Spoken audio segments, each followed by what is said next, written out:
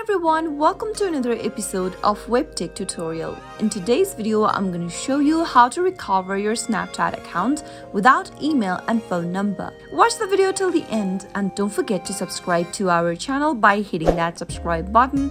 Also press the notification bell so that you'll never miss another upcoming upload from us. If you ever need to recover your Snapchat account, whether you've lost your email or your phone number, You'll need one of the details in order to get out of the situation. If you don't have your phone number or your email address, then the only thing to get around the situation is to go open up a Safari web browser or any other web browser you have.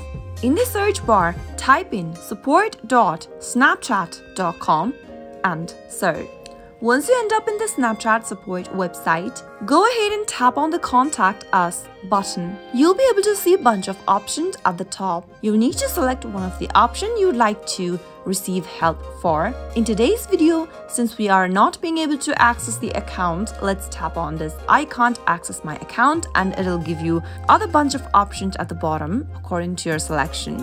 From the options, Tap on I can't verify my email or mobile number. Right beneath, go ahead and select yes option right under need help with something else. Now, It'll ask you for your username, email address, mobile number, and the description of your problem. Go ahead and type in your username for your Snapchat account. On the next field, it'll ask you for your email address.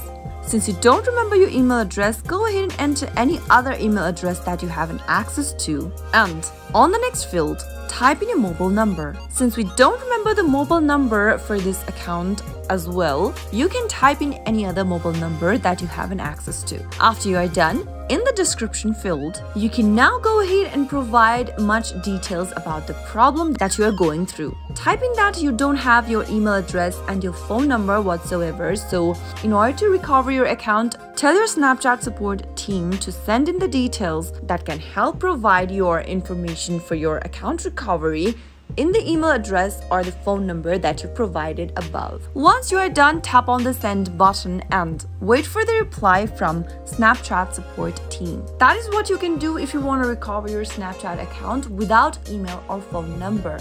I hope the tutorial was helpful to you. If it was, go ahead and give us a thumbs up. I'll be back soon with more videos like this. Thank you for watching.